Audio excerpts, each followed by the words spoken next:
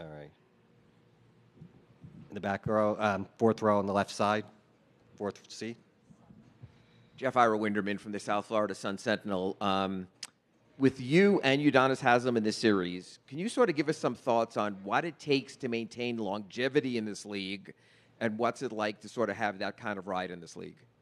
Man, um, what it takes dedication, passion, um, sacrifice.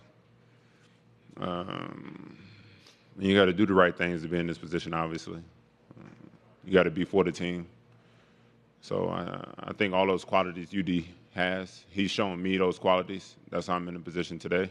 Uh, he's been a good mentor, friend of mine for a while. So, um, you know, watching him from afar, seeing how he's went about his business.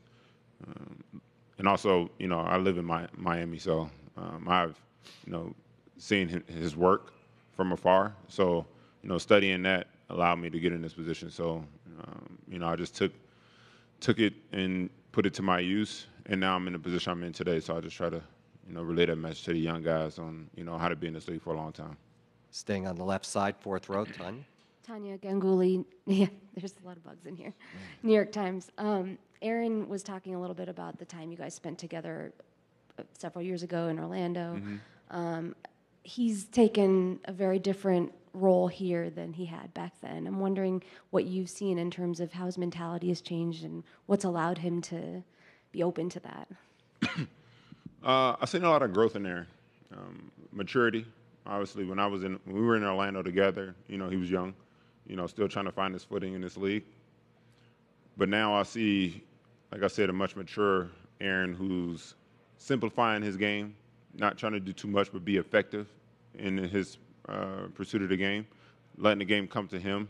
Uh, his defense has been tremendous. I think his focus is now starting there, and he, he's allowing that to, you know, carry over to the offensive end. Um, but Aaron is, you know, he's a workaholic. He's somebody who's worked on his game a lot in order to be at this point, and he's a big X factor, you know, for us and what he brings to this team. Um, so I've seen a lot of growth in, you know, in him and you know wanting to be in this position. You know, for me, I think he's a one of the best two-way players in this league.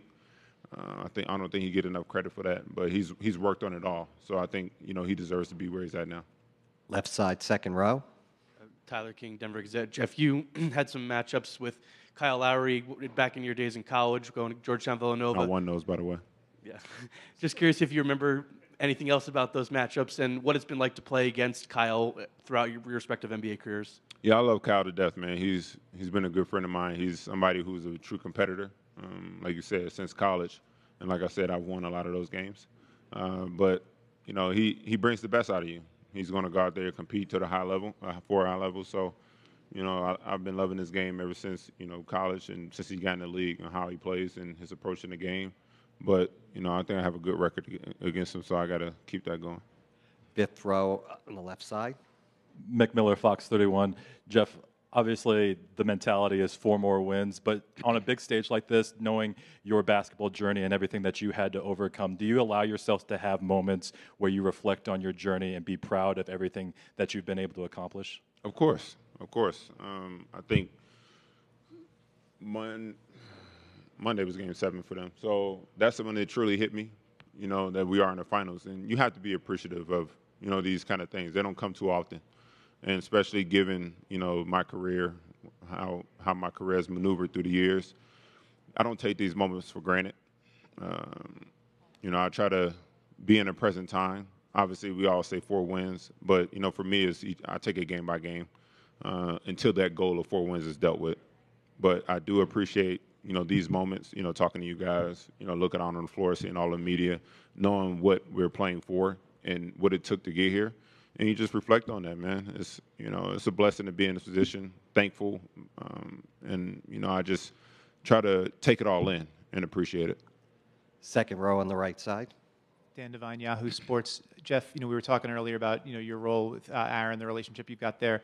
You are, as we said, one of the few Nuggets that's got finals experience, haven't been on the stage before. You talked about appreciating that. I'm wondering if there's anything that you're given to the other guys, the young guys, you know, from your experience, something that you were able to that pass down to them, say like, this is what it felt. You know, you mentioned the other day, stuck in the moment of like yeah. that feeling. How you kind of maybe try to help them get past that initial stuck and into get back into business as usual. Well, that was my message. That's I mean, I, I don't talk too often, but you know, I that was the message I gave uh, when we won in LA. You know, I, my message to the team was, you know, appreciate this moment. We worked hard for this moment all season long.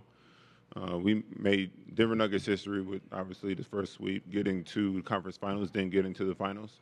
But embrace this moment, but understand there is still more to it than what we got to do. And I told them my experience as far as you know being stuck in that moment, that game seven. Um, you know, knowing that I'm getting to the finals, I was stuck there. I was I didn't allow myself to get past it um, because I was just you know taken back. You know, you don't see all this media too often, so um, you know I was I was just a, a guy who was like a deer caught in the headlights. I was just you know stuck in that moment. So my, that was my message to the team was to embrace it, love love it tonight, but understand once we get our rest and we start practice, what's the what's the bigger goal? On the left side in the back, Jenna Garcia, Clutch Points. Jeff, I know you were instrumental in the collaboration with Tobe Nwigwe on the song that you guys came out with for the conference finals. I'd just like to know, like, how did that collaboration come about, and what does that re- song represent for this team? Well, I love his music first and foremost. Tobe's a great artist. Um, his his uh, you know his approach to the rap game is is amazing. His his pitch, everything. Um, you know, but I think that song in particular, he just has some words in there that fit, you know, our team, and I think it was uh, something that uh, would be useful uh, with the wording in the comparison to our team, and it was something that me and DJ, uh, you know, found. You know, him being from Houston, DJ, uh, Tobe being from Houston, so um, I think it was something that you know the team just collectively was like, you know, if you like it, we like it, and then we're gonna roll with it, and it's worked.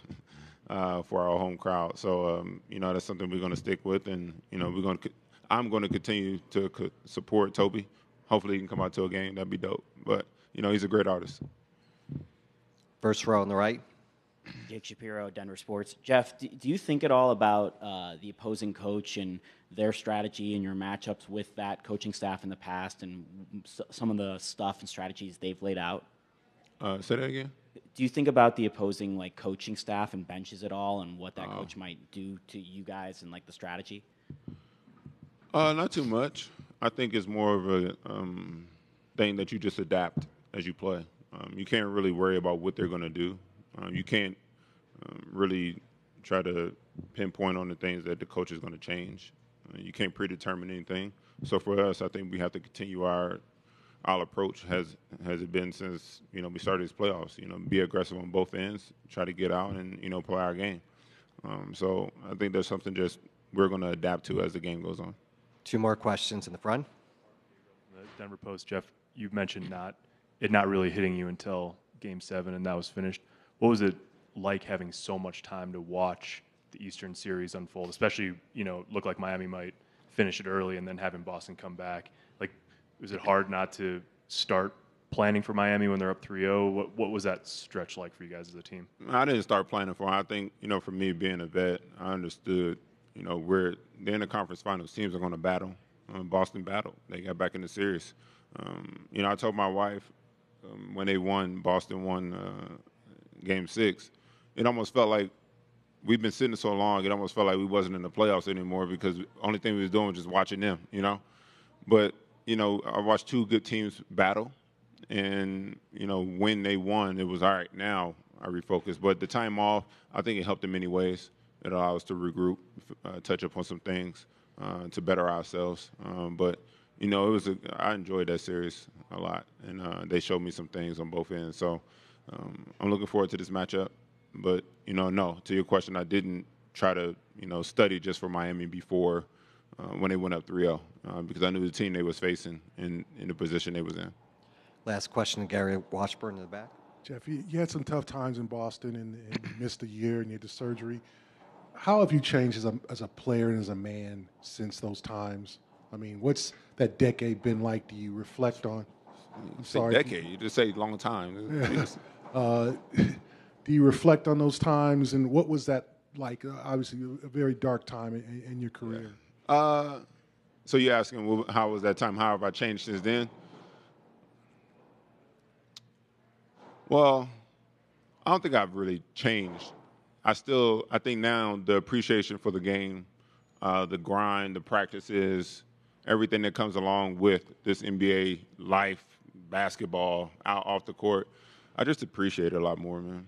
Like I, I don't take it for granted. Obviously, what I went through, and you know, when you're young, you think you're invincible until something happens and it halts your career or ends your career. Uh, so I was blessed enough to, you know, go through those dark times that you speak of and grow from it. And now my appreciation for the game, life, my everyday, you know, interactions with people are a lot different. Uh, you see me walk through these halls. Everybody who works for this arena, I say hello to because I don't take them for granted. My teammates, I don't take for granted. My coaches, uh, our chef, I don't take anybody who helps me prepare for my job for granted, this life for granted. So I think that's it's been a consistent thing for me uh, since I went through those times, and it's something that helped me grow as a man, a person on and off the court. So I don't take them. I don't. I don't wish those moments on anybody, but I don't. I wouldn't trade it for the world because it helped me, you know, grow in a lot of a lot of places. Thank you very much. Yep.